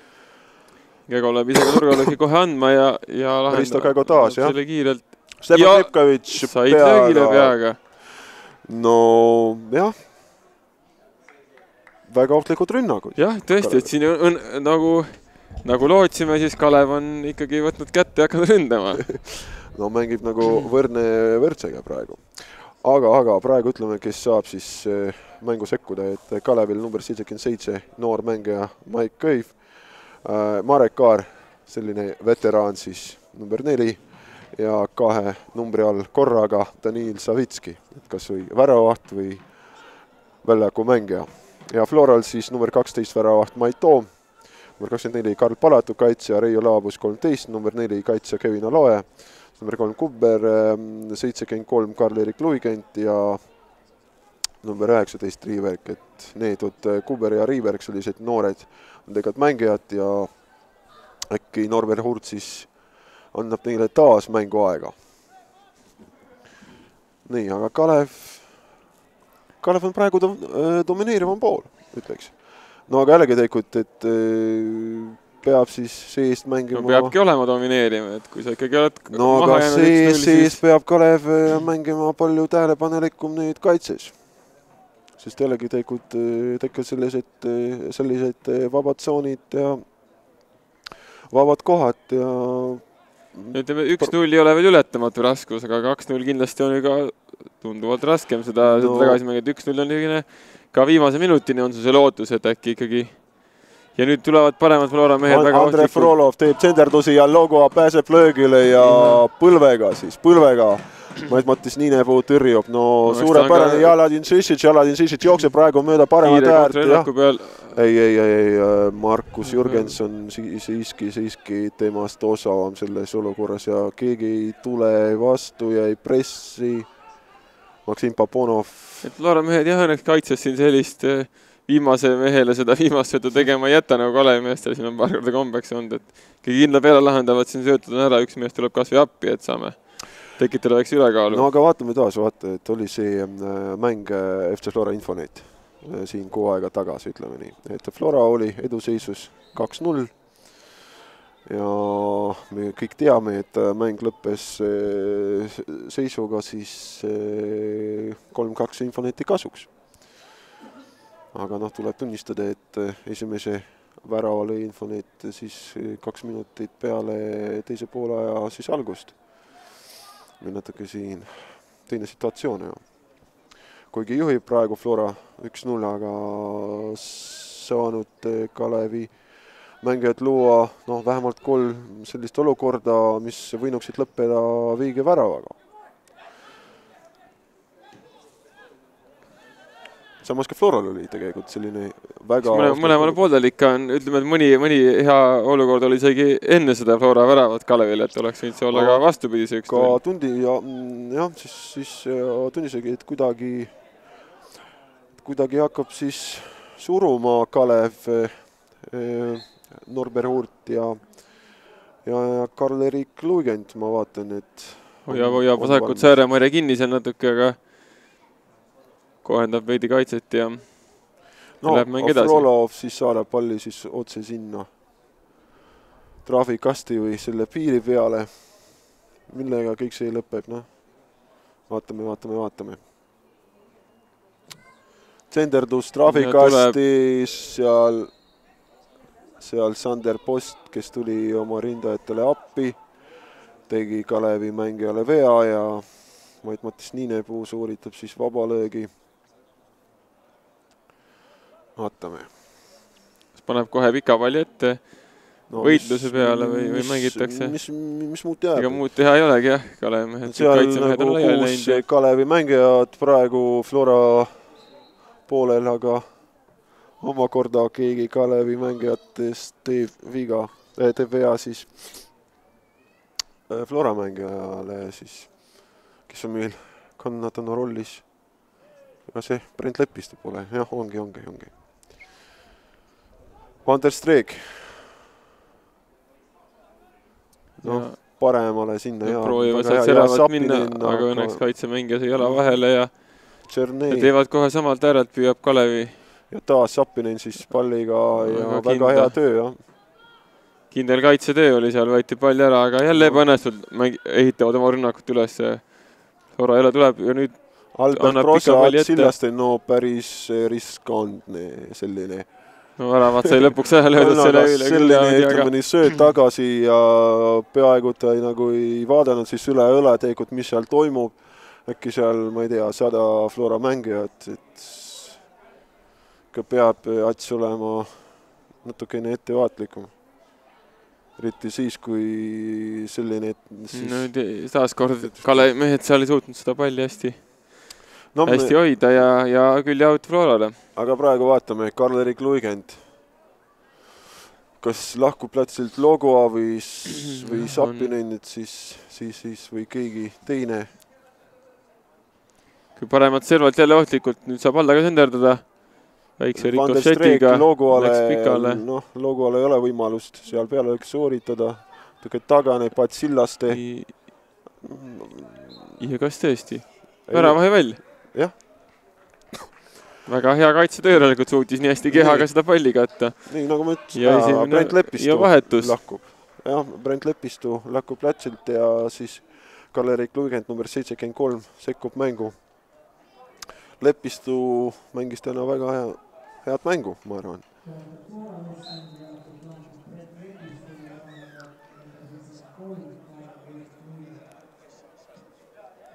Nüüd pikk pall ette ja jälle võitluse peale.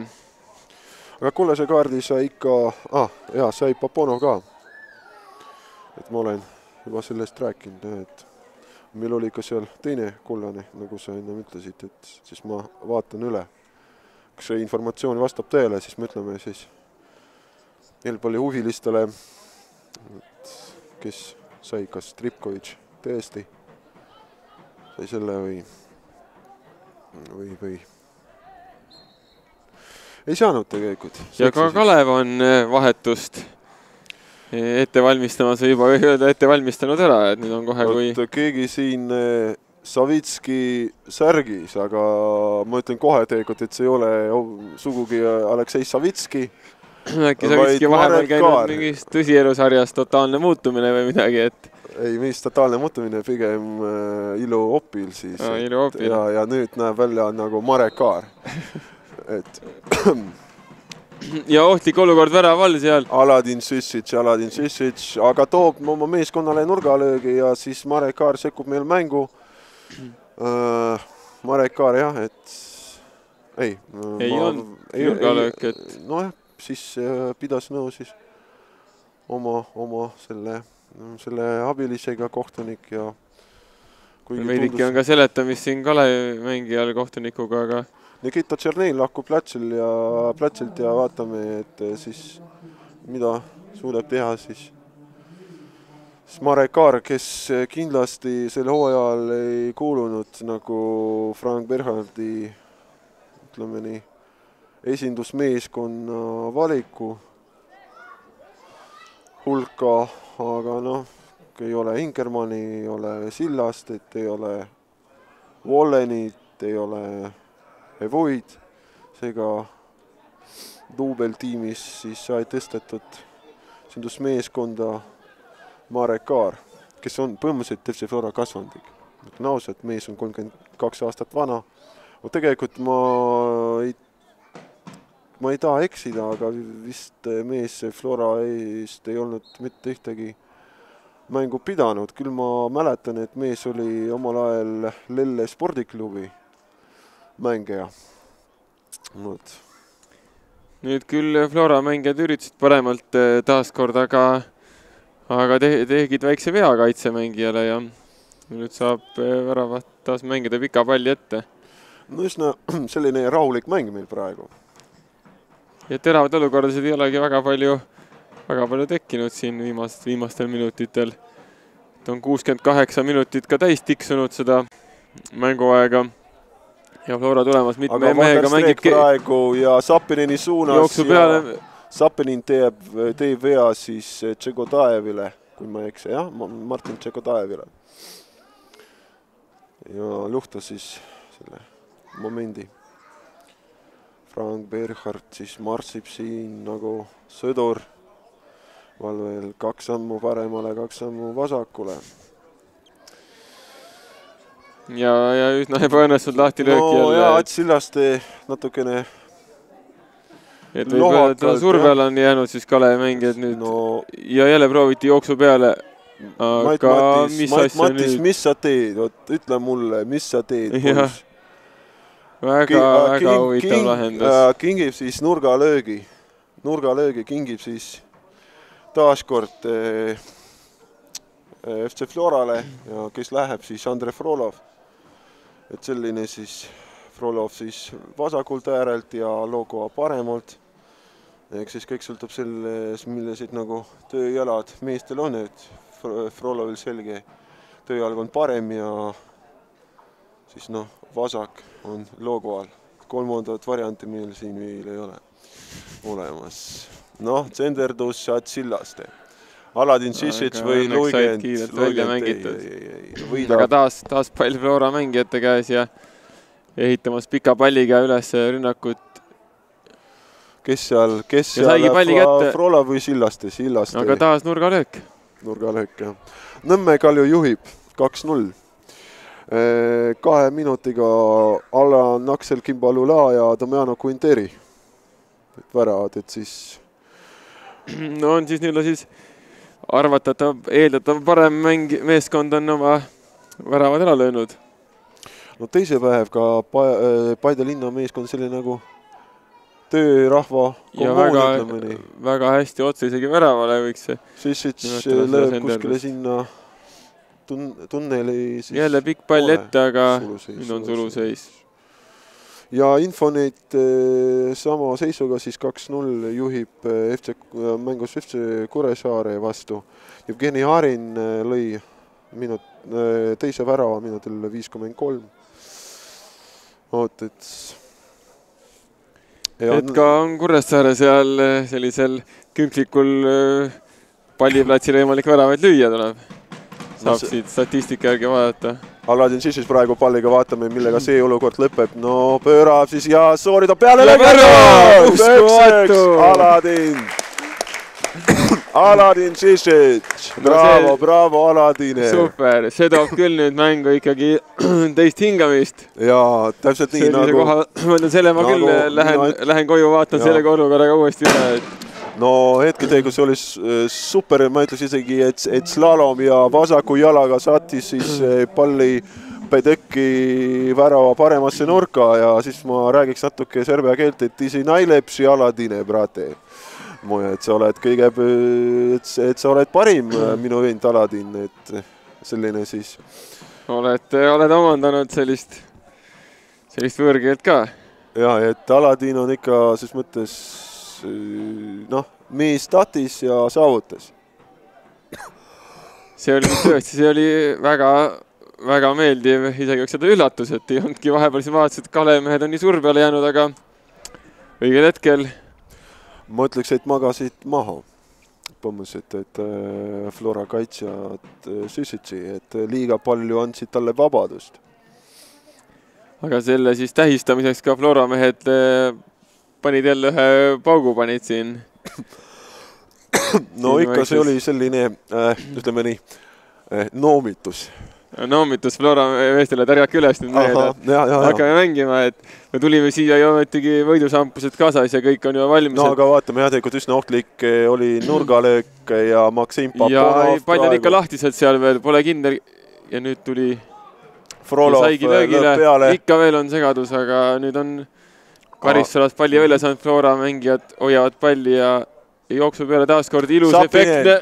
ei, ei, ei, ei, väravat ei olnud. küljevõrku küll jah, seda tagaposti ja kohtunik näitab, et eh, Mait-Matis eh, Niinepuu tegi sellise nagu eh, NHL-i slängi kasutades save, great save, vaid Mait-Matis Niinepuu. Frolov, nurgalöök. Tuleb jälle tsenderdus, sinna lendab ja Niinepuu ja kindlalt, ja kindlalt, kindlalt, väga hea, väga hea noh, Martin Tšegodaev. no ütleme, alla kahekümne minuti on seda mängu veel jäänud ja püütakse selle pika palli kätte. no üsna huvitav mäng, ma ütleks. jah, et isegi. üsna ootamatu selline nagu, ütleme nii, eh, tulemus, et eh, ma arvan tegelikult, et mõned ikka arvasid, et kui sai nagu reedel, siis reede õhtul Kalev sellise nagu paki yeah. et eh, nüüd tõesti selline noh, aga mulle tegelikult ütles Sergei Ratnikov, endine Tallinna Kalevi peatreener ja konsultant ja hetkel ta hoopis Sillamäe Kalevi peatreener, ta ütles seda, et äh, kergem nagu äh, treeneril äh, just nagu töötada, ütleme nii, selle meeskonnaga, kes sai just äh, viimasest äh, mängust hoopis kaotuse, siis ta teab, millised vead olid platsil tehtud. seega ma arvan tegelikult selline nagu noh, ütleme nii, hea spetsialist nagu Frank Bernhard suutis teha kiirelt omad järeldused ja jah, jah, jah, äh, täpselt nii, et äh, aga noh, ma ei tea, aga ma ei pea nõrgaks spetsialistiks äh, härra Urta, noh, aga võib-olla tõesti selles mõttes mingi siin noh, sekundiline, ütleme selline nagu lohakus ja üks-üks, palun, jah, ja Aladin sissis taas palliga, mida, võtab ette. no ikka nagu võib-olla ka Kalevi mehed saatsid äh, mingit äh, pre-pääsmet äh, diskoklubisse. Flora, Flora, Flora meestele pre-pääsmed ja siis nad läks reede ja laupäev läks pikale ja. ei, lau-, laupäeval meil voor, et mitte mingit ikka nagu režiim ja siis pühapäeval see taastumine, taastumine ja mitte löök, ma arv-, ma arvan, et see oli pigem nagu senderdus, senderdus ja, ja aga ei saanud aru tegelikult, et see oli senderdus Stefan Tripkovitš. Noh, fännid juba hakkasid siin trummi lööma, aga noh.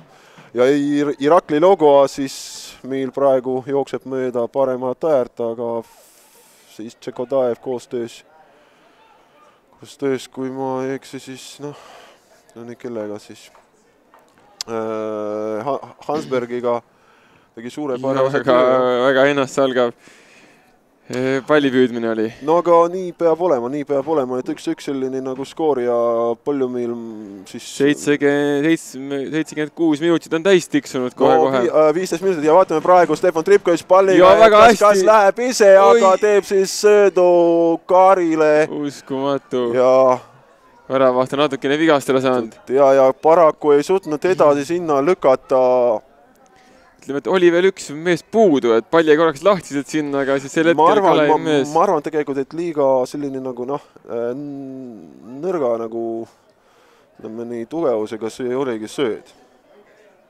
aga Marek Kaar tõesti tegelikult, et see mees mängib hetkel teist ründajat ja siis vaatame, et kuidas jah, et et hetkel praegu see too tegi oma, ütleme nii. lahtine pall jälle karistusalas ohtlikult. väga hästi. no kuhu nüüd, kas, kas Sissitsile ja Poponov siis ja Sissits jookseb siis sinna ja pikk, pikk pall, pall ette, ette Tripkovitš. aga üsna ebatäpselt jällegi, et no las sa loe. Nad tahtsid ka asjad ära lahendada sealt kaitsest, et. ei, vabandust, Karol Mets, jah. Kamafrolov, Luigend, sinna Van der Streegi ja Proza, keda me põhimõtteliselt tegelikult ei ole täna midagi ohtlikku loomas üldse nagu näinud. jah, et äh, proosa oli suhteliselt nagu nähtamatu, aga ja päris hästi sööt liikus läbi sinna paremale karistusala sööt oli hea, aga tsenderdus tuli selline nagu noh, jälle liigub sinna, aga see, seekord õnneks on söödu, aga noh siis... ja sellise tegutsemise eest ei tule, ei tule, ei tule kullast kaarti ega midagi. ju siis ei olnud tähtlik. et jah, Vile oli ammu kõlanud, aga, aga nüüd eh, selles mõttes, et ma ei oska, kelle kasu, kelle kasuks see aeg, aeg mängib, et Mike Cave vist tema esimene mäng eh, meistriliigas. Nüüd... ja tema praegu on valmis mängu sekkuma ja me, ma lihtsalt tegelikult, ma kardan oletada, kes siis eh, tuleb välja, et eh, kes platsilt lahkub, et mul lihtsalt ei ole mingit oletust, et Tripkovitš, no vist nagu ei ole mõtet. mees on üsna ohtlik, Sisic, no see oleks nagu rumal, et ma ei tea, kas Hansberg, Hansbergil tegelikult väga hea mäng täna. mees ei kartnud, eh, ütleme nii, nimekamaid florakaid ja no aga kohe saame teada aga näeme jah, tegelikult, et äh, Mike Kõiv siis ikka Mikke Kõiv, noh, ütleme niisugune nagu Mike, Mike. Hero. ja üksi, üksi siin purjetab jälle, aga, aga lõpuks no, on siruli maas ja Flora mehed äh, on tegemas väga ohtlikku rünnakut. kukepall no, väga ebaõnnestunud no., see oli küll oksa kohaga vist tabas nüüd küll palli ees täpselt, täpselt nii ongi. no vaatame, et on mingi, kas äh, Ats Sillaste lahkub platsilt huvitav. et nüüd tuleb küll jah, kuke peal peab nüüd hoidma siin eh, pöidlad peos, et siit väravat ei tuleks ohtlikult, et muidu peavad küll vist no, kast, kasti õlut meestele tegema pärast mängu välja ja see oli nagu väga ootamatu jah, et see oleks selline tulemus ja üks-üks. aga õnneks siin vist kindlalt. Flora taas kaotab, ütleme nii. pall on jälle õhus, aga see, no ütleme, pall tuleb maha panna, et mulle ka vana teeneline jalka, jalgpallitreener Benno Tael ütles alati, et pall maha, et see õhupall kahjuks meie.... Sander Post. Sander Post sinna kuskile, ma ei tea, ma ei tea, ma ei tea, Juhkendali tänava poole. jah, selle. aga vaatame, meil on siin vahetus Mike, Mike, siis teeb oma siis debüüdi siis meistriliigas tõesti nagu noor mängija, kõigest kaheksateist aastat vana poiss ja kes lahkub platsilt ja, ja Ege mm,, Egert Heintar. no ma usun, et see Vile ikka oli sihuke nagu heaks nagu. no ikka Vasitset ikkagi annab indu, indu tema siis debüütmängus ja loodame, et siis eh, noh, oleks ju uhke veel kümme minutit aega, et teha üks ilus sooritus ära. ja esi-, ja, ja esimest korda sai ka võttis palli maha ja, ja ise sekkub rünnakule kohe. kas saab palli tagasi ka? Tripkovitš, Tripkovitš, väga hea, läheb siis edasi ja, ja viga, viga, no siin on juba kindel viga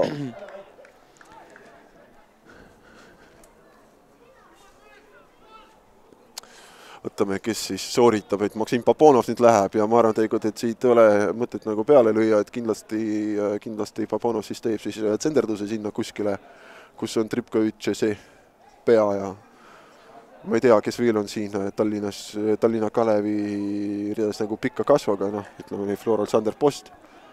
Post on sealt kaugel näha, jah. jah. no vaatame, kas nüüd aga äkki virutab otse nagu sinna väravasse no, seda... aga tuleb madal ja hoopis ja Aladin Šešetš, no löö peale Aladin. No. nüüd esimese puute pealt kohe proovima seda lüüa, et aga jällegi said eh, palli, pallitüdrukut tuleb mainida siin mängus, et pallitüdrukud ei tee tööd joosta pallide järgi. mulle tundus tegelikult, et ühe nagu kontsert all tegelikult, et ta jooksis üsna nagu ebakindlalt, aga ei, mingid tennised. Mike Cave taas palliga. Ats Sillaste, Ats Sillaste ja Andre Frolov. Jälle prooviti selline õhupalli anda, aga noh, no, ei jõua kohale. kui kuidagi ei saa, siis kuidagi ikka saab, eks ole, et siis kas või õhupalli. ja pikk pall ette ja Flora mehed saavad selle kätte, proovisid keskele anda no Aga väga hea, klaarib siis. kindlalt. ja vot number üheksateist siis sekkub mängu Floral. et vaatame, kes siis lahkub, et siis Riiberg siis sisse ja Zappinin välja. no, no, no, no vaatame. et eh, jah, et temal on küll, ta on vist külm, et ta on ka tõmmanud need eh, sääred nii, nii ülesse kui saab ja püksid alla lasta, et tundub, et, et ei olegi nagu, äkki mängibki sukkadega, aga aga jalgpall, ega siin õhtu on juba külmaks, need päike on ära läinud ja ja kui siin kaameramehed ka kõrgema näitavad, siis eh, suur kuu on juba siin välja tulnud ja mm. haigutab siin meie kohal. vaid kuu. selline jah, aga ma vaatan, et seal vastas tribüünil on ikka, seitse inimest, seitse ikka seitse inimest on eh, seitse inimest ja, ja Ats Sillaste teeb siis vea, vea, kui ma ei eksi, siis ma vaatan teekord logoale ja lojaalsed, logoale. lojaalsed seitse fänni on ikka jäänud sinna ja no äkki seal, ma ei tea, mingi mõnusam lihtsalt nagu vaade või no seal enne oli seal päike paistis sinna peale, oli, oli kindlasti mõnus, aga noh, nüüd paistab meile siia kuu. mm. -hmm. aga me praegu ka anname teada jalgpallihuvilistele, et Sillamäe Kalev taas asus juhtima, et eh, kaheksakümnendal minutil Martin Vung viis eh, Kalevi siis juhtima, siis eh, ja Trans liigub jälle nii-öelda siis tabeli üheksandale positsioonile siis. et võtab positsiooni sisse, et no me vaatame, meil siin mängida kaheksa minutit pluss kindlasti mõned üleminutid. veel ütleme seitse pool siis jäänud tegelikult, aga aga, aga nüüd jah, kuus ja pool natukene panen. jah, jälle no ütleme kaks korda matemaatika. ja taas suluseis. no öö, ütlen nõnda, et eh, Flora ei saa kuidagi viimasele nii-öelda sellele otsustavale rünnakule asuda. küll nad midagi proovivad, et eh, pikad pallid sinna nagu ette, aga ei midagi. väga tähelepanelik töö täna. kaitsemängijate poolt jah, et absoluutselt, et saab eh, kolmas kord siis kiita kaitsemängijaid. ja nüüd noh, ikka Papunov, mängi, mängivad no, taha ära no põhile. Mait Matis, no jaa, väga hea, no see, seekord vist ei lähe üle joone, Mike Cave taas. aga ei, ei mitte kellelegi, andis palli. no ei olnud seal jah, tõesti, et vaatame, kus Sisic on, siis Sisic jooksis sinna vasakule äärele. et Cave nüüd kindlasti parem äär jah, et palliga Andrei Frolov praegu kas lööb ise peale või annab söödu. andis selle palli ette ja, Ja nüüd sai Sillaste. kätte. tundus, et natuke närviline see vastuvõtmine oli, aga noh. Flora- Tripkovitš, Tripkovitš siis asub. eh, aga, aga. kiirelt lahendati see, see ohtlik olukord, mis oleks võinud siit tekkida. Flora mängijate poolt ära ja viis minutit normaalaja lõpuni. no ei ole, ma arvan, tegelikult praegu Tripkovitšil nii palju värskust, ütleme sees, siis ikka nagu mees töötas nagu noh, selline, selline noh. Kes meil olid need roheliste, need plakatid, rohelistel plakatil, et töötab, jah. töötab jah. jah, et me ei tohi praegu valimisreklaami teha. jah. ja see, seega me ei ütle, kes, aga äh, Karl-Erik Luigend proovis siis kahekümne viiel meetrilt siis selle, selle peale lüüa, aga selgelt üle. jälle saavad pallitüdrukud tööd ja minna joosta sinna puude alla Juhkantali tänava poole. Nojah, tegelikult meil on siin üsna jahe juba, eks ole, et päikest ei ole, et saavad vähemalt joostagi. ikka, ikka, ikka. ja andis kohtunik märku, et, et pane pall mängu, et mis sa seal ootad seda pallitüdrukut, et meil on Mhm. ikkagi mitu palli siin antud ja ja mängime selle mängu lõpuni, enne kui, enne kui tuleb tuled põlema panna. ja jälle ei õnnestunud ka Flora rünnak no Maksim Paponov, Maksim Paponov, et praegu tegelikult ei noh, ja prooviti ette anda pall ja saab palli kätte ja kas läheb ka karistusalasse ja Aladin Sisic, Aladin Sisic ja tsenderdus, aga Tripkovitš õnnestub, ja nüüd oi. ta teeb siis oma peaga Jürgensonile vea ja kohe kohe kutsub siis, kohe kutsub eh, arsti sinna, et ma ei tea, Markus Jürgensonil oli juba sel aastal selline nagu üsna õõvastav peatrauma. et kui ma ei eksi, siis hoiab äh, päris kõvasti mängus- peast kinni ja, ja, ja, ja ja kui meil oleks ka mikrofonid seal lähedal, siis me kuuleksime vist kõvat oigamist, aga aga praegu tõesti, et no loodame, et midagi hullu ei ole, et siin vahetusi Floral ei ole. kõik ses mõttes, et kui no mängida pole enam ka palju jäänud, et ei no mis tegelikult, et meil on praegu kolm minutit jäänud enne no siis nagu normaalaja lõppu ja pluss veel kindlasti need lisaminutid, ma arvan, et kolm-neli ikka nagu neid tuleb. no No see, see see- poolaeg on olnud päris palju seitse selliseid, minutit vähemuses ja Markus Jürgenson on selline põhi kesk- äh,, nagu põhikaitsja. et ma, ma, ma ei tea, ausalt tegelikult, et ma soovin talle, ütleme nii, et ei, et ei oleks seal midagi, ütleme nii hullu.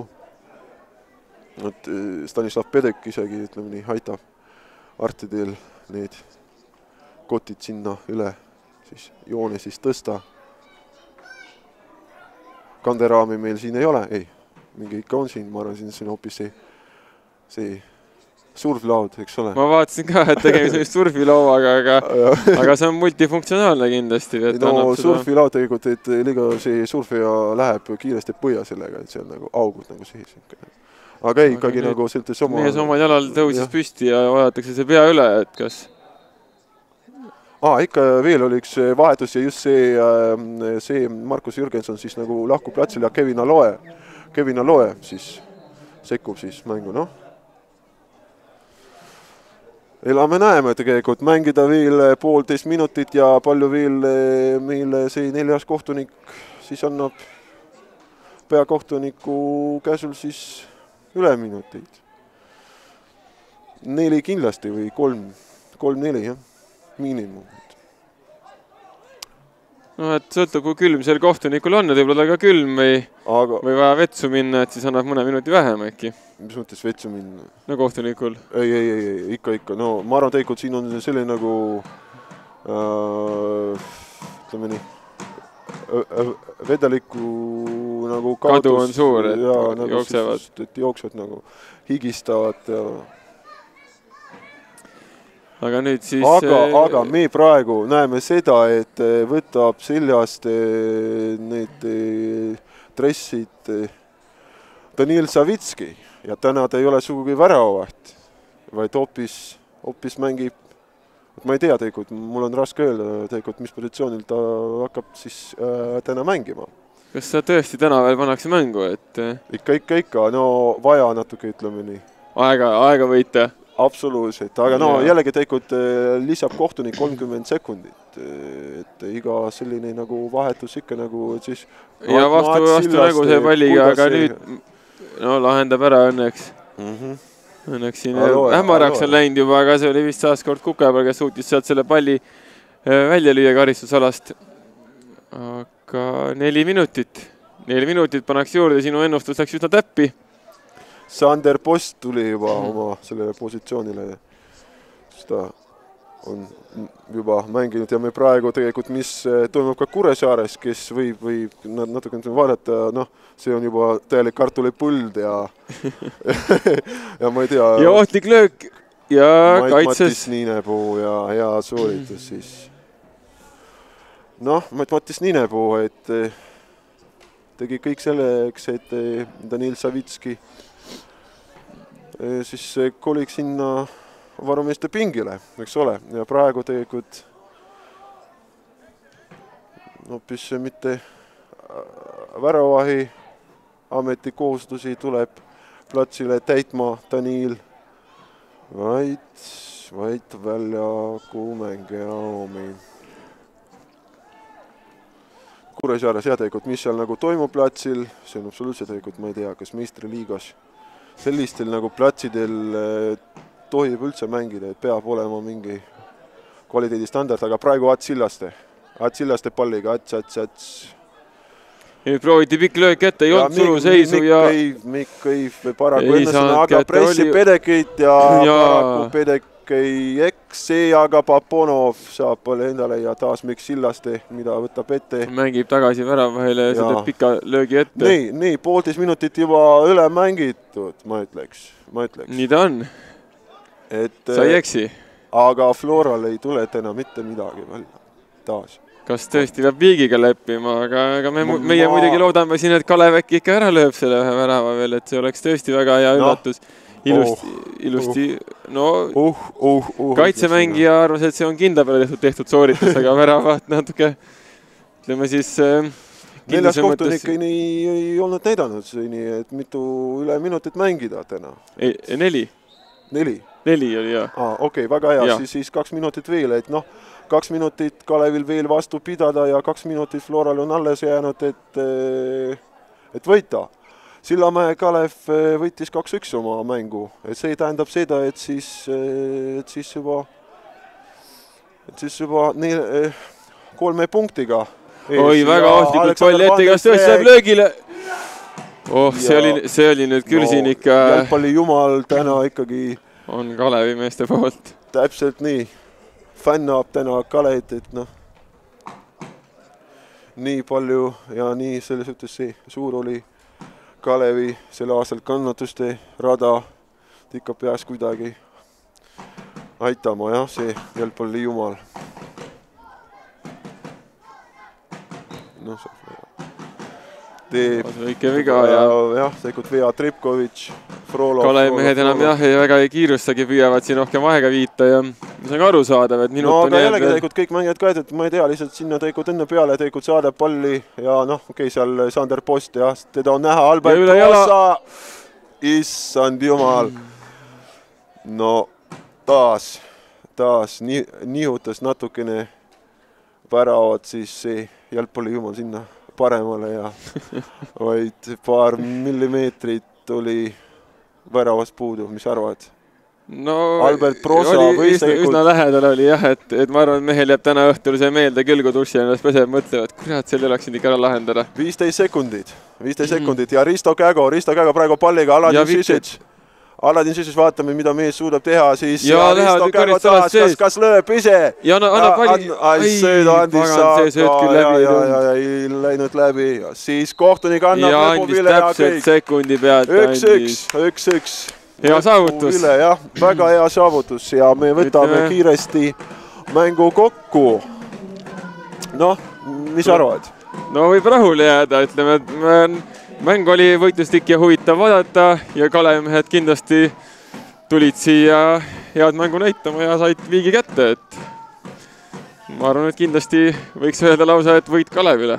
no kui vaatad tegelikult äh, Nõmme Kalju äh, samuti kaotas siin Kalevi keskstaadionil siis kaks punkti ja nüüd ka Flora, kes, ma ei tea, ma ei mäleta, et ei, vist Levadia vastu mängitakse ikka nagu Kadriorus. Aga noh, tegelikult eh, miks mitte siis äh, mängida viiki või siis võita Levadiat ka, et siis nagu selline kolmas no oleks kalt, väga hea, väga hea saavutus jah, et jah, ja tõuseb selle, selle viigi järel siis Kalev kaheksandale kohale.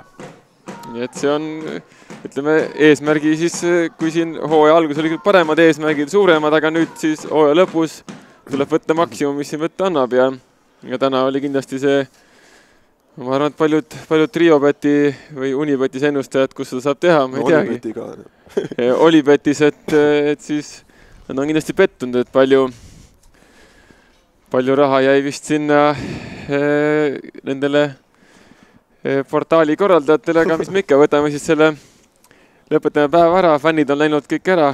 ja, ja tegelikult. ja ka mängijad on selle platsi suhteliselt tühjaks jätnud ja no Kuu ka vaatas täna seda mängu ja ta võib ka nagu rahule jääda. aga meie pool, pool siis kõik tänaseks ja mõne nädala pärast äh, oleme siin taas Kalevi keskstaadionil ja teiega olid täna reporterid Alex Eprin Sokkerneti eest ja siis... ja Taavi Lüütsepp Baltic Broadcastingust.